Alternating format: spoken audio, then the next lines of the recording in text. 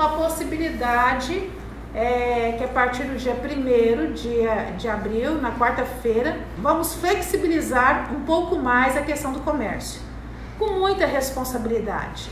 É, lembrando que temos que tomar todos os cuidados, mas vamos fazer essa tentativa. Hoje a construção foi bem bacana, conversamos bastante, e mas continuamos.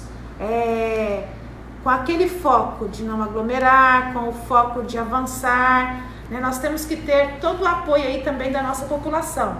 A prefeitura também hoje avançou na desinfecção.